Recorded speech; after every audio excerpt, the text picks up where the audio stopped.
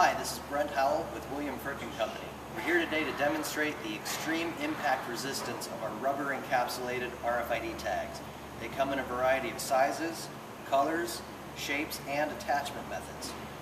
So we'll read each tag, we'll hit it with a sledgehammer, and then we'll read it again to make sure that it survived. Here we go.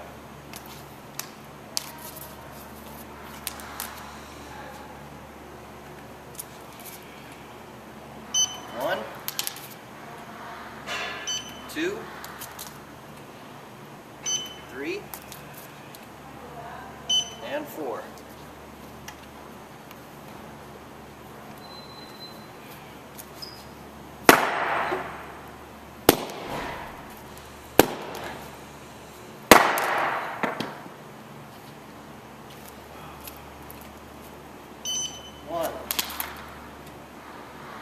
Two,